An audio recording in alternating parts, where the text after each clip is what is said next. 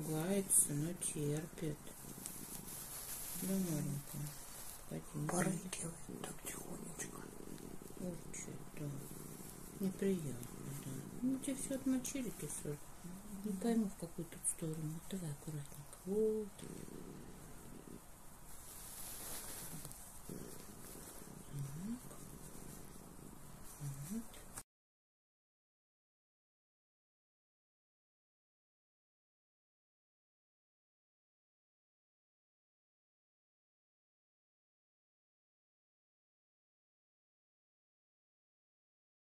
Чтобы я не было.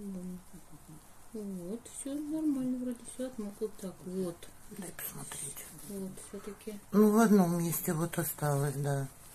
В одном все остальные зажили. Чуть-чуть, но по сравнению с тем, что было, конечно. Еще вот здесь надо посмотреть вот этом, вот чуть-чуть прилипшее. Сюда. Уже затягивается.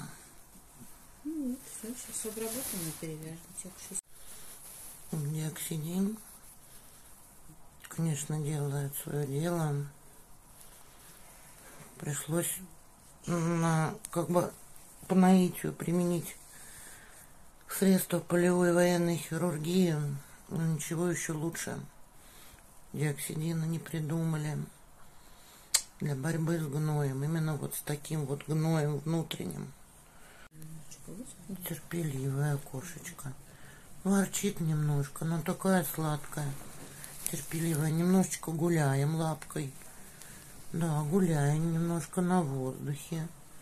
Пока недолго нагшися, но тем не менее. Конечно, все время в таких тапочках, да, ходить. Да, моя ласточка. Бедная ласточка. Вот вроде как и сработало. Ну, конечно, еще чудодейственный морфолоксин, как антибиотика плюс НПВС, это ансиор. Мы продолжаем пока лечение этими препаратами. Вот мы берем так вот, наносим на салфетку уже мазь Вишневского. До этого мы долго мазью диоксидин делали все это. Вот. На одну перевязку в связи с большой раневой поверхностью, потому что ранки везде, входит один тюбик мази. То есть как бы Вишневская не критично по цене вот диоксидин был очень дорогой препарат. Спасибо всем тем, кто Кшисеньке помогает. Ну, Конечно, она бы не справилась без вашей помощи. И КТ, и прием у Ягникова, и то, что сейчас касается, непонятно пока нужно ли протезировать или просто какая-то операция. Все это, конечно, безумно дорого. Огромное. Вот так вот прям все складочки наносим по всем вот этим вот болячкам моим, да, бывшим. Вот, и которые сейчас еще чуть-чуть здесь остались. И, соответственно, тоже вот бинтом таким, который прорезиненный. Это для того, чтобы тапочка вот эта ее держалась. Вот мотать мы начинаем с конца лапки, чтобы лапка не затекала. Шесеньку терпи, мой хороший, терпи. Терпи, девочка, сейчас мы тебя зафиксируем хотя бы вот тут.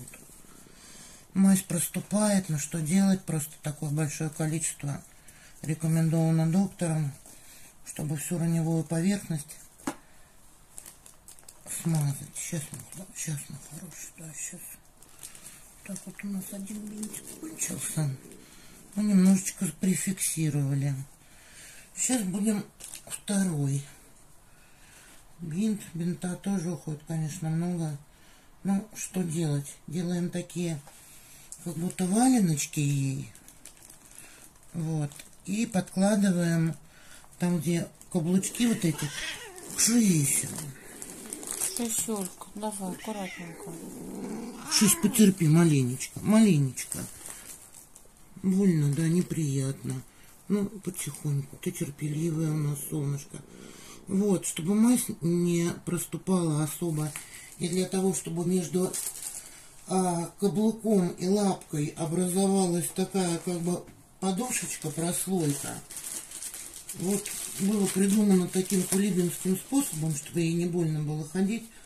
Мы подкладываем спонжики. Но это уже не на стерильную как бы поверхность, а уже поверх вот этого вот всего. Значит, вот так вот здесь тоже спонжики прификсируем. И придется потом еще такую подушечку подложить. Больно, мои хорошие, неприятно, да.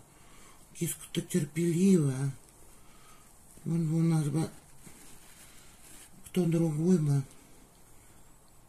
мы бы все бы были бы разодраны. Вот, вот здесь вот образуется такая вот как бы ямка. Чтобы к шисе было удобно ходить, мы сюда еще один спонжик подкладываем, иногда сворачиваем. А для того, чтобы когда она спрыгивала, хотя спрыгивает она на мягкое, вот, чтобы она не ударялась вот этой костью. У нас такая вот вторая лапка. Там просто мозолька небольшая такая, и как бы подсохшая на каблуке. Тоже сейчас будем подкладывать. Вот как раз вот этот проем. Покажи, вот где вот это куда подкладываем. Два места подкладываем и сюда. Да, вот где, сюда. чтобы ей больно не было. Вот, вот два вот этих проема спонжики подкладываем. Вот. И защ... вот сейчас приступаем к второй лапке.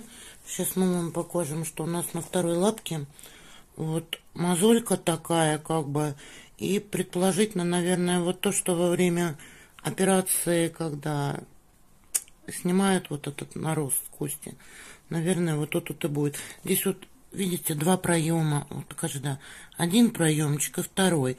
Вот сюда мы подкладываем тоже спонжики, вот, для того, чтобы было мягонько, и она при ходьбе не ударялась вот этой вот косточкой по твердым поверхностям.